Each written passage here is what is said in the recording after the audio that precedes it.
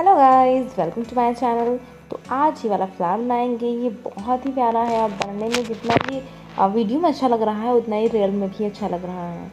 तो इस वीडियो को एंड तक देखिए और अपना कमेंट ज़रूर करें। आपको अच्छा लगा है या कैसा कोई सजेशन देना चाहते हैं तो आप कमेंट कर सकते हैं। इसके अलावा आप, आप वीडियो को लाइक कर सकते हैं सब्सक्राइब कर सकते हैं मेरा चैनल तो यहाँ मैंने ऑरेंज कलर लगाया है फ़र्स्ट बॉटम में और ये डार्क ग्रीन है। ग्रीन भी बहुत सारे आते हैं बट डार्क ग्रीन जिसे डीप ग्रीन कहते हैं, वो मैंने लगाया और हल्का सा शेड दिया है इसके नीचे की तरफ़। इस तरह से हाफ़ मैंने बना लिया है। अब मैं आपको हाफ़ और दिखाऊँगी बनाकर। यहाँ मैंने बॉटम में पहले मैंने वाइट किया है, उसके बाद मैंने ऑरेंज कलर का शेड दिया है। ऑरेंज शीट कंप्लीट होने के बाद मैं रेड कलर का बहुत हल्का सा सेंटर में शेड दूँगी। आप देख सकते हैं, बिल्कुल पहले मैंने वाइट पर्ल कलर किया है। तो आप वाइट कलर ज़रूर करें, उसके बाद ऑरेंज ट्राई करें।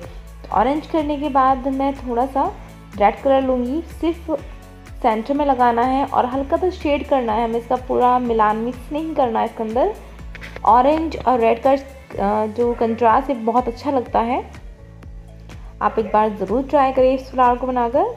इसे ड्रॉ करना भी बहुत आसान है। और फिर आउटलाइन इसकी डार्क ग्रीन या डीप ग्रीन से करेंगे।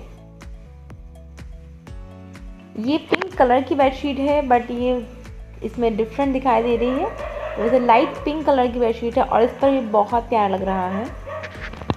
तो ये इस तरह से डार्क ग्रीन से आउटलाइन करने के बाद नीचे की तरफ़ हल्का हल्का शेड देंगे। और इसी तरह से मैं आगे बनाकर दिखाऊँगी आपको। ये फ्लावर कंप्लीट हो जाने के बाद बहुत प्यारा लगेगा। सिर्फ़ शेड इसी तरह से देना है, एक साइड से ब्रश चलाते हुए। और ब्रश को हल्का सा आड़ा कर लेना है आपको। बिल्कुल सीधा ब्रश नहीं रखना।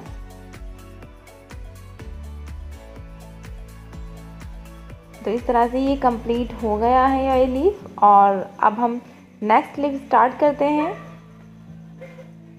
मैं आपको पूरा तो बनाकर नहीं दिखा पाई क्योंकि फिर वीडियो बहुत लंबी हो जाती।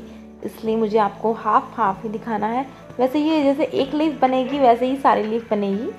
तो आप बस इसको देखिए ध्यान से और ट्राई ज़रूर करिएगा। बस पहले वाइट कलर कर क्योंकि गर्मी का मौसम में बहुत जल्दी कलर सूख जाता है, इसलिए मैं पूरी लीफ में वाइट एक साथ नहीं कर रही हूँ।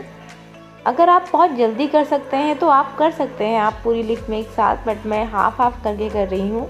क्योंकि एक बार वाइट कलर सूख जाता है तो उसके बाद शेड नहीं होता, वो बहुत गंदा लगता है। फिनिशिंग नहीं आती है। इसलिए आप ट्राई करें या कोशिश ये भी कर सकते हैं, या तो आप हाथ थोड़ा जल्दी चलाएँ, या फिर अपने कलर को सूखने से पहले अपने शेड कर ले, और दूसरी बात अपने कलर को बहुत ज़्यादा पतला मत करिए। उसमें मीडियम ज़्यादा मत मिला मिक्स करिए, वरना वो भी अच्छा नहीं लगता, उसकी शाइनिंग चली जाती है। तो इसलिए ज़रूर ध्यान रहे कि आपके कलर जो बस मीडियम ही हो। मीडियम मीन्स एक तरह का वाटर आता है जो मिक्स करते हैं इसमें। वो मीडियम बहुत ज़्यादा ना मिलाया हो वाटर ज़्यादा थिक ना हो कलर बिल्कुल सही हो। तो तभी आपकी फिनिशिंग भी आती है, आपके कलर भी अच्छे होते हैं शेड्स भी अच्छे होते हैं और कलर भी दिखाई देता है कि आपने कौन सा कलर किया है। और वो साइड में फैलते भी नहीं अगर आपने ज़्यादा वाटर मिक्स कर लिया तो वो साइड में निकल जाते हैं।